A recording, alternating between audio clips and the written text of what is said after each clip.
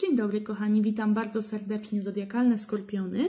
E, przygotowałam dla Was horoskop na rok 2021, to znaczy w części przygotowałam. Przygotowałam sobie koncepcję tego horoskopu. E, nie bez przyczyny widzicie na swoim ekranie książkę. Jest to książka pod tytułem Wszystko jest względne, 14 mrocznych opowieści i oczywiście króla Kinga.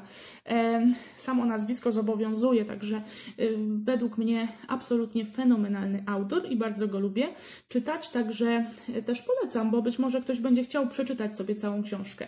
Dlaczego nie? Ja mam ją tutaj nie bez przyczyny, ponieważ też e, z tej książki za chwileczkę wylosuję dla Was, czyli dla zodiakalnych skorpionów, pewien cytat i to będzie część Waszego przekazu właśnie na styczeń roku 2021. E, dlaczego tak książka, skąd taki pomysł?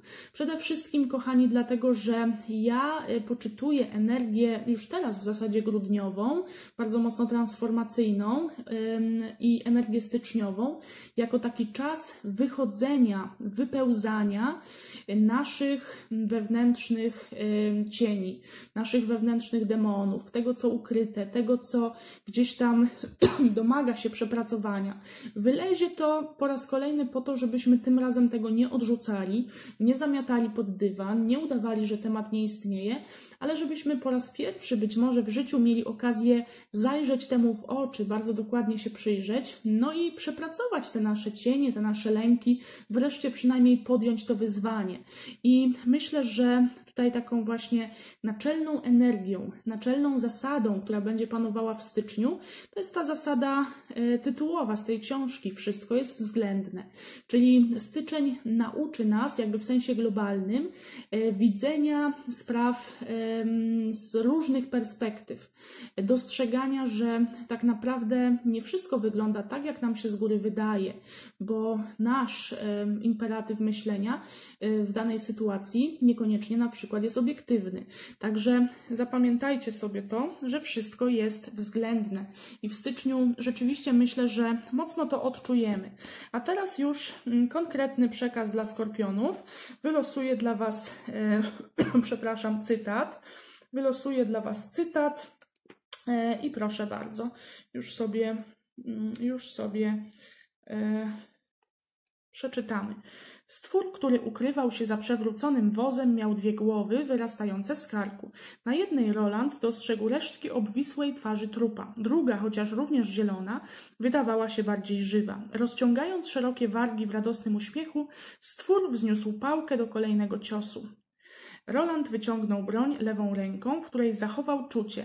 Zdążył wpakować jedną kulę prosto w wyszczerzoną gębę napastnika, który poleciał do tyłu, plując zębami i krwią, uprzednio wypuściwszy pałkę z bezwładnych palców. Potem dopadli go inni, waląc i tłukąc, gdzie popadnie. E, przede wszystkim e, tutaj jakby już w tym krótkim fragmencie e, było to na chybił trafił losowane, także nie miałam wcześniej przygotowanych oczywiście tych fragmentów, po prostu otwieram książkę na takiej stronie, jaka mi się otworzy, no i czytam tekst, który wpadnie mi w oczy. Mamy tutaj jakby, ja widzę tutaj dwie tarotowe karty.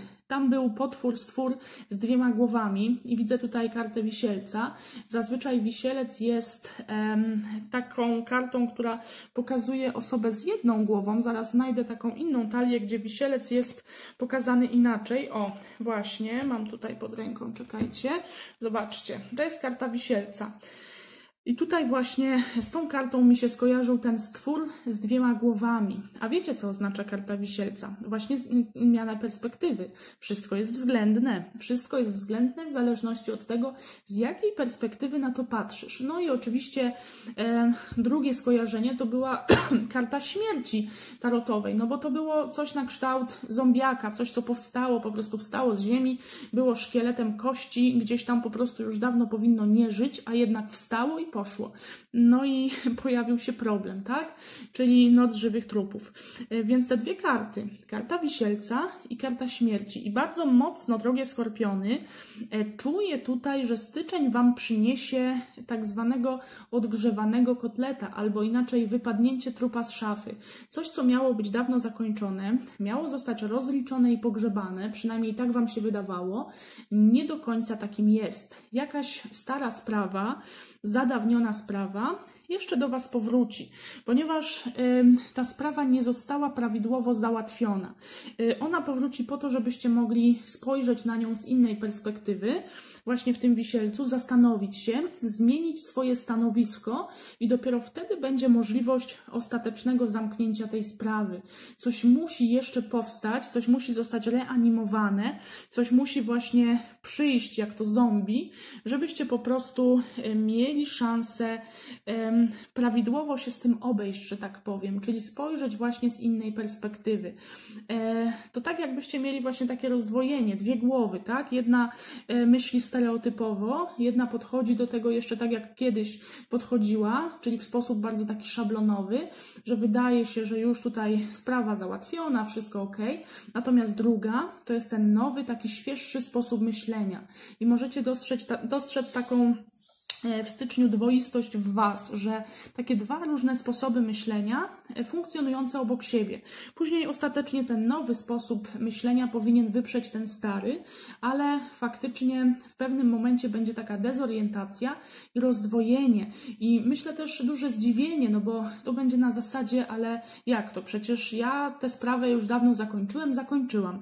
Jak to możliwe, że ona tutaj ponownie się pojawia na tapecie, na wokandzie? Przecież to już jest dawno dawno zamknięty przeze mnie temat.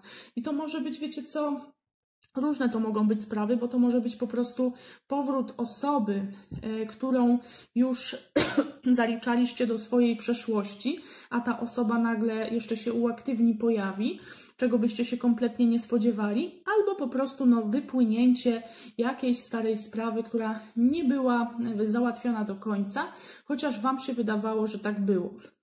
No ale niestety okaże się, że nie. Zobaczmy sobie jeszcze w kartach, mm, jak to będzie wyglądało. Zodiakalny Skorpion, styczeń 2021 roku. Styczeń 2021 roku dla zodiakalnego Skorpiona. Jak tutaj będzie wyglądał ten miesiąc dla Was? Najpierw miłość, relacje, uczucia. Co w miłości dla skorpionów zodiakalnych, co w miłości i co w pracy oraz finansach. Co w pracy oraz finansach. Czekajcie jeszcze chwileczkę, bo sobie dołożymy karty z drugiej talii. Będą tutaj pełniły funkcję takich kart doprecyzowujących. I zobaczmy. Zodiakalny Skorpion, styczeń 2021 roku. Miłość, miłość dla Skorpiona, no i praca oraz finanse dla zodiakalnego Skorpiona. Dobrze, już odkrywamy i już czytamy. Co w miłości? Najpierw zobaczmy. Miłość i relacje, proszę bardzo. Koło fortuny. No właśnie, a nie mówiłam? wracający cykl, który nie został zakończony. Niestety, ale trzeba będzie zrobić jeszcze jedno kółeczko z tym zombiakiem, jeszcze w kółeczku zatańczyć. Tak, coś, coś może to być, wiecie co, bo tutaj e, ryby zawsze mi się pokazują tak naprawdę na sferę finansów, e, natomiast ryby oczywiście są związane z tym środowiskiem wodnym, czyli mogą też pokazywać sferę uczuciową. Jeżeli pokazują jakiś, jakąś relację międzyludzką, czyli jak, jakąś relację, w której wy kiedyś byliście, to może to pokazywać, że tam chodziło o pieniądze, że pieniądze w tej relacji były bardzo ważne, że ktoś, z kimś mogliście się rozstać, ale na przykład wy albo ta osoba, ktoś komuś nie zwrócił pieniędzy, jakiegoś długu, może to chodzić y, też o taki dług emocjonalny, ale coś nie zostało zakończone tak do końca, chociaż Wam się wydawało inaczej. No i ta sytuacja właśnie będzie wracała, więc dla niektórych wiele wskazuje na to, że może chodzić o osobę. Jakaś osoba wraca, mhm, a tutaj no, zastaje Was być może już jako osoby, które mają poukładane życie, mają swoją rodzinę i nie do końca chcecie tę osobę wpuścić ponownie do Waszego życia. No bo ona jest takim właśnie zombiakiem, który przychodzi, a tutaj e, macie już rodzinę, ta rodzina patrzy, nie wie o co, o co chodzi w ogóle, kto to jest. Karta książki pokazuje tutaj wyjście na jaw jakichś tajemnic mogą być tajemnice związane właśnie z tą osobą.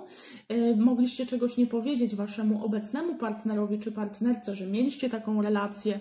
Być może nie uznaliście tego za istotne, bo po prostu no ta relacja była przez Was e, zakończona i myśleliście, że to już nigdy nie powróci. Także tutaj, no, dla niektórych może być właśnie taka przykra troszeczkę niespodzianka, że gdzieś tam ten zombiak wylezie spod, spod ziemi, no i trzeba będzie jakoś się wytłumaczyć, coś powiedzieć, coś zrobić, dokładnie mm, jakby wyznać pewne być może sekrety z przeszłości, e, coś, co było właśnie skrywane. Karta książki to jest też słowo pisane, więc ta osoba mogłaby na przykład do Was napisać, powiedzmy, jakiś list, być może skierować do Was jakieś słowa w formie pisanej, e, być może ta książka pokazuje jakąś tam Waszą wspólną historię, e, którą napisaliście i Wam się właśnie wydawało, że to taki zamknięty rozdział, no ale niestety okazuje się, że nie tak do końca zamknięty rozdział. E, możecie nawet spotkać tę osobę gdzieś tam w takich dziwnych okolicznościach, bo jak to koło fortuny działa, no to po prostu idziecie i nagle wpadacie na kogoś, kogo nie widzieliście powiedzmy 10 lat i to jest takie wielkie wow, takie zaskoczenie. Nagle wszystkie wszystkie wspomnienia wracają. Wam się może też tak wydawać, że już te wspomnienia przestały istnieć, że zapomnieliście to wszystko, a tutaj w kontakcie z tą osobą, która może być waszym partnerem karmicznym również, w kontakcie z tą osobą jakby uaktywnia Wam się ta pamięć. Wraca wszystko, dosłownie wszystko wraca. No i tutaj dla osób, które już mają rodzinę, mają partnerów, partnerki, no to jest sytuacja potencjalnie niebezpieczna, bo e, mogą wrócić też jakieś uczucia do tamtych osób, które są osobami z przeszłości. Więc tu być może pojawi Wam się jakiś rodzaj dylematu, te uczucia będą na przykład skrywane. E, jeżeli bylibyście singlami, moi drodzy, to widać, że Wy tutaj jakby w tym momencie możecie nie myśleć o życiu rodzinnym, o zakładaniu rodziny, bardziej skupiacie się na pracy. W kole fortuny, w karcie ryb to widać, że tutaj praca, kariera, chcecie jak najwięcej zarobić, dorobić się, być może e, uzbierać na coś na jakieś lepsze życie. Mogą też być tutaj takie osoby, które na przykład chcą podnieść swój status materialny, żeby być lepiej postrzeganymi jako kandydaci i kandydatki do związku. Na przykład, jeżeli jesteście mężczyznami, dla panów yy, taki status finansowy jest bardzo ważny. Oni zawsze chcą się pokazać, że na przykład stać ich na to, żeby założyć rodzinę, żeby kobiecie coś zaoferować, utrzymać yy, potencjalną rodzinę. Więc tutaj rzeczywiście są mocne starania w, w tej strefie. E, natomiast e, być może też mm, w karcie książki będziecie się uczyć, jakoś kontynuować edukację, i mam takie wrażenie, że właśnie przez tę karierę, przez jakąś naukę, myślenie w tym momencie o własnej rodzinie, o jakimś związku zostaje tak zepchnięte u Was na plan dalszy, że w styczniu no po prostu nie będzie to najważniejsze. Ważniejsze będą dla Was inne kwestie, takie bardziej związane ze zdobywaniem pozycji, pieniędzy, e, ze swoim tak naprawdę własnym rozwojem. Zobaczmy, co e, się pokazuje dla zodiakalnych skorpionów, jeśli chodzi o e, pracę i finanse. To czytanie tutaj dla singli trochę się też łączyło z pracą i z finansami. Wow, karta świata i karta gwiazdy, no to są jakieś szalenie dobre perspektywy, no coś niesamowitego. E, to jest odkrycie swojej ścieżki zawodowej. Na przykład czegoś, wow, tu jeszcze macie kartę słońca, no to rzeczywiście jakieś pozytywne propozycje dla Was, tak, tak, bo tu jest karta jeźdźca i ten jeździec to może być taki przekaźnik, taki kurier, nazwijmy to, ktoś, kto przynosi Wam jakieś pozytywne wieści, pozytywne informacje. Może to być informacja o jakiejś super pracy, informacja o podwyżce, o jakimś dodatkowym wynagrodzeniu, informacja o tym, że y, zyskujecie wyższą pozycję na przykład.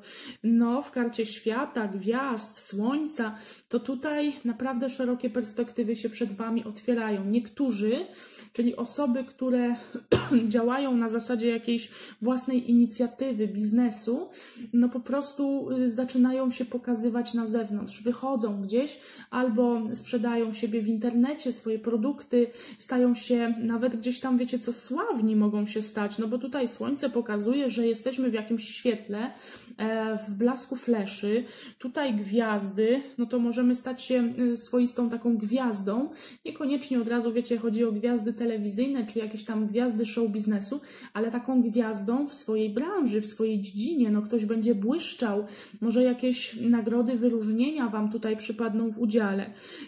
I to rzeczywiście tu możecie dostać powiadomienie jakąś pocztą, czy za sprawą jakiegoś telefonu, czy jakiś kurier, jakiś po prostu posłaniec Wam przyniesie te dobre wieści, jakiś mężczyzna prawdopodobnie.